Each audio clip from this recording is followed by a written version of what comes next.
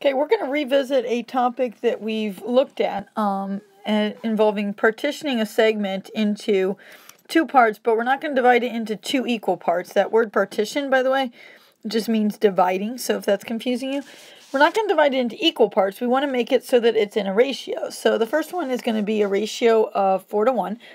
And I'm going to encourage you to just try this one. So maybe pause the video if you haven't actually tried it yet and see what you can come up with. And don't think that you have to do a whole bunch of crazy calculations. Just use some common sense and see what you can get from the graph.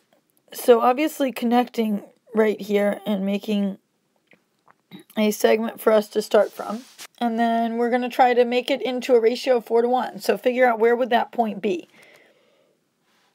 Okay, I'm assuming that you've tried it by now. So I'm going to go ahead and show you a couple ways that you could have done it.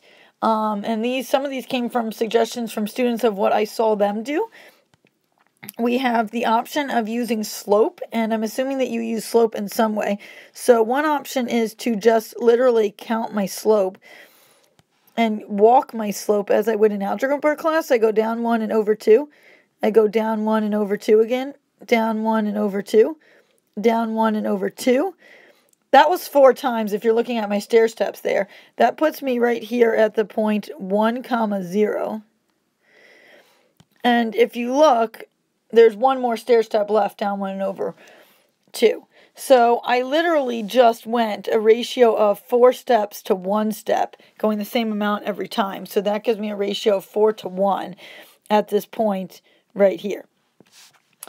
Um, but you didn't have to do it that way. Somebody else did this. They actually said, okay, let's look at it as I've got a triangle here, and let's just group those four steps basically together and say we went down four, and we actually went over eight.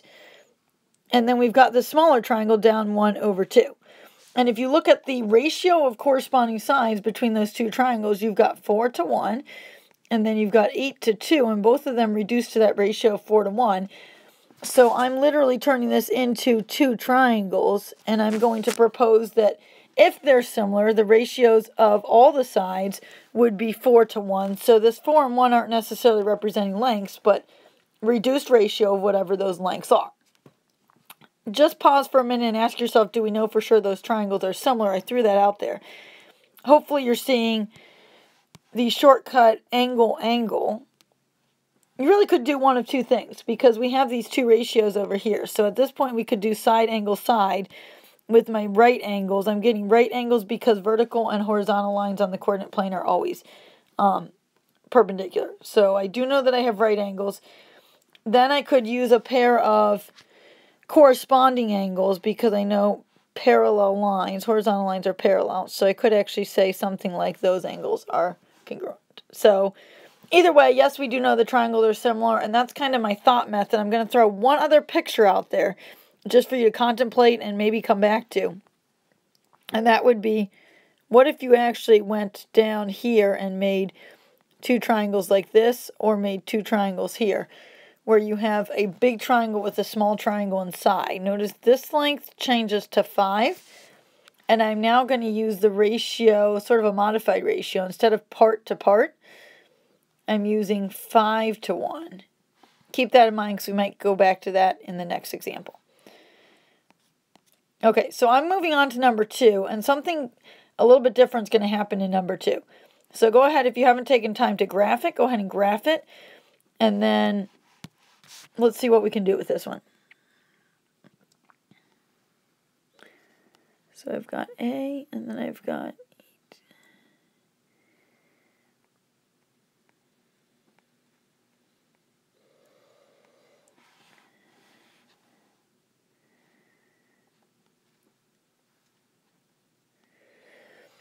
Okay, so I've got A and B on here, and I want to put P somewhere on here such that the ratio of AP to PB is 2 to 3. So P is going to be somewhere between A and B. And based on this ratio, it's not exactly in the middle, it's somewhere close to the middle, and I'm just going to take a random guess. Okay, I already did, and if you need to pause the video and do this to kind of justify to yourself why we're going to do the rest of the work we're going to do, I already tried counting my slope like I did in the last one and not working out so nice. So in this one, we're going to have to do a little more work, and basically we're going to get some non-integer values for our coordinates. So here's what I'm going to propose we do. This is one of many variations of this method that we could do. I'm going to drop down some vertical lines. I like vertical lines because vertical lines I can count. And I'm going to do a horizontal line there, and I'm basically making two right triangles. And as we just said a second ago, the triangles are similar. I can now apply chapter 7 and everything that I know about similar triangles. So I'm going to work over here, and I actually am going to redraw this picture. And I'm going to redraw it off the coordinate graph. And the reason is that I really want to force myself to look at this as a chapter 7 problem and not a coordinate problem because my brain, whoops, sorry about that. My brain does much better thinking about proportional relationships when I actually have numbers to work with and I'm not on a coordinate graph. So here's what I want us to look at. And we need to find the coordinates of point P. So I essentially need an x coordinate and a y coordinate. Now back to the coordinate graph for a second. X coordinate of point P would be, let's come straight down here. X coordinate would be distance from 0, 0, or from my y-axis all the way over. But that would be the same distance as this, would be the same distance as right here. So I'm recognizing that that x distance is going to be this length right here. I need another color. This length plus this right here, which is really just a length of 2. I know that's 2. So I'm going to try to find this length, this yellow part. I'm going to call that A. I'm just picking a variable. And I don't really want to use x because x could be my general variable in this case. So I'm going to use a there. I'm going to try to find a, and then at the end I'm going to add 2 to it because that will give me the coordinate point for p. So I'm going to put a little note to myself that my answer here for p is going to be 2 plus something for the x value. Okay, and haven't, haven't gotten to the y value yet. We'll get to that, so let's just leave some room. But I'm going to be adding something, and I'm going to be adding a, whatever a is. So how do I actually find a?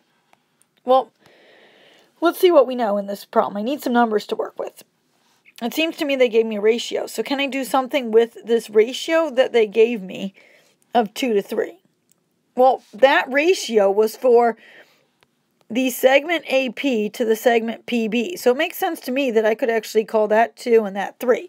Not necessarily a length, but that is a reduced ratio. So it could be 20 to 30, but that would reduce to 2 to 3. And when I'm talking proportional relationships, I can always reduce them or I can work with the original numbers. So I'm going to have 2 to 3 equals A2. I need one more length. And if you're following Triangle proportionality theorem is what I'm thinking right now. All the way I've got parallel lines and I'm going to start making some ratios. So it'd be nice to use that 2 to 3 ratio equals, then I would need, to put that A with something else, I would need to know what is the length of this part over here. Go back to your coordinate graph for a second. I don't know that we know that, but we do know this length down here. Mm, not going to work. Let's try this color. I know this length down here because I can count that. So, probably shouldn't have highlighted that. Let's get rid of that line. And let's count. So I'm counting from A straight over to B, and I'm getting a distance of 8 for that entire length. So I kind of want to make my ratio A over 8, but then I wouldn't be using 2 over 3. So I'm going to show you two ways to do this. We absolutely could do that. And we could go with A over 8, but then I'm going to be pairing it with a ratio of 2 to 5. Take a look at your picture. A is my part, 8 is my whole length. I've got to match it with part, whole length. So that's why I'm using a 5 and I wouldn't be using the 3 in that case. Now, if I want to use the 3 up here, then 2 to 3, I'm going part to part. I've got to go part to part, and we should at this point be okay with saying that this is 8 minus A for that length, and I could put that in there. Two proportions, totally doesn't matter which way you do it. Go ahead, take a minute, solve for A using one of those two proportions. Or try them both if you want. Okay, hopefully you solved. And you should have gotten for your A value using either one of these that A is 16 over 5, which is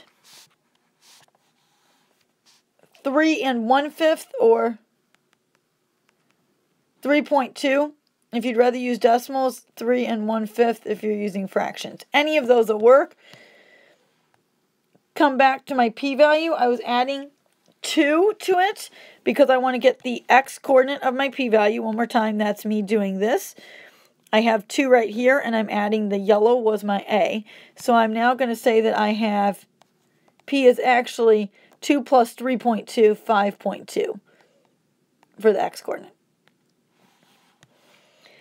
Okay, I know that took some time. We did a lot of thinking right there. Let's use that same thinking to get our y values. The y values will go a little bit quicker. Okay, so I'm using that same triangle. I'm going to slide it over. And I'm going to say now we're really trying to find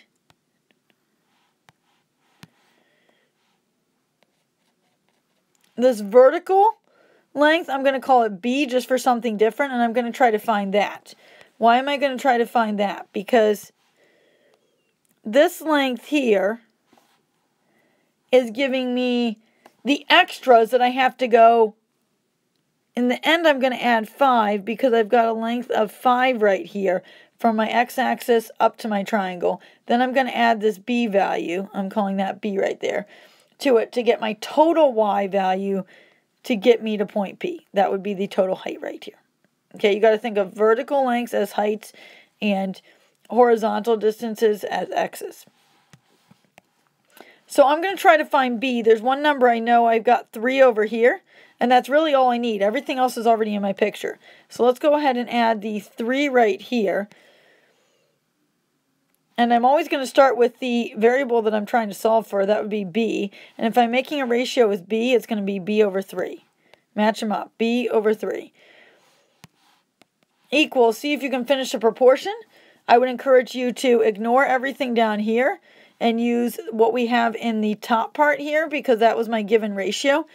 Is it going to be 2 over 3 or is it going to be 2 over 5 or either one?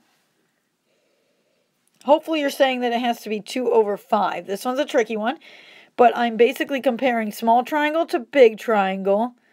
I've got to do the same thing. Small triangle to big triangle. I've got to do that entire length to match with my length 3 right here. Okay, I know I made a mess of my picture right now. Go ahead and solve and check.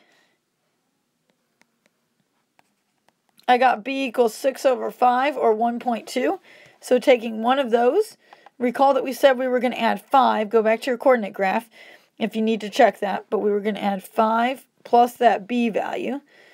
So my final answer is 5 plus 1.2, 6.2 or 6 and 1 fifth if you did fractions. I know that was a lot of work. Double check that that somewhat makes sense with your picture. It's looking pretty good with mine. I know I estimated, but it looks like, yes, I could be about five units over and about six, a little more than six units up at that p-value.